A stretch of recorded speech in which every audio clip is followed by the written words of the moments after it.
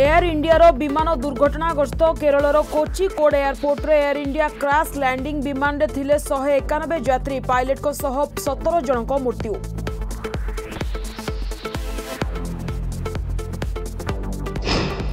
Covid କଟକଣାକୁ ଉଲ୍ଲଂଘନ କରି ଉପବାଚସ୍ପତି ରଜନୀକାନ୍ତ ସିଂଙ୍କ ପୁଅ ଜନ୍ମଦିନ ପାଳିବା ଘଟଣା ତୀବ୍ର ପ୍ରତିକ୍ରିୟା ପ୍ରକାଶ କଲା ବିଜେପି ଏସ୍ପି ଓ ଜିଲ୍ଲାପାଳଙ୍କୁ ଭେଟି କାର୍ଯ୍ୟାନୁଷ୍ଠାନ ଦାବି କଲା ପ୍ରତିନିଧି ଦଳ ନହେଲେ ଧାରଣା ଦେବାକୁ ଚେତାବନୀ ପୁଣି ସାମ୍ନାକୁ ଆସିଲା ପୋଲିସର ଗୁଣ୍ଡାଗର୍ଦ୍ଦିର ଚିତ୍ର ମାସ୍କ ନ ପିନ୍ଧିବାରୁ ଯୁବକଙ୍କୁ ବିଚ୍ ରାସ୍ତାରେ ମାଡ଼ ମାରିଲା ପୋଲିସ ସମ୍ବଲପୁର ସହରର ବୃକ୍ଷ ହିଲ୍ସ ରାମ ମନ୍ଦିର ନିକଟରୁ ଆସିଲା ସାଂଘାତିକ ଚିତ୍ର ଗଞ୍ଜାମ ଭଞ୍ଜନଗର ଦଦରା ଲୁଣ୍ଡାରେ ବୋମା ମାଡ଼ ଘଟଣାରେ ତିନି ଗୁରୁତର କାରଣ ଅସ୍ପଷ୍ଟ ପୋଲିସର ତନାଘନା ଜାରି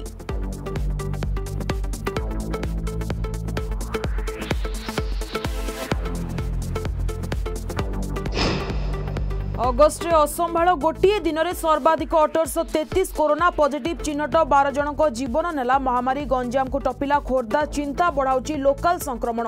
ସାତ ଦିନରେ ଆକ୍ରାନ୍ତଙ୍କ ସଂଖ୍ୟା ଚାରି ଚାରି ପଏଣ୍ଟ ନଅ ପ୍ରତିଶତ ବୃଦ୍ଧି ପ୍ରତି ଦଶ ଲକ୍ଷରେ ଟେଷ୍ଟ ମାତ୍ର ଚଉଦ ହଜାର ଶହେ କୋଡ଼ିଏ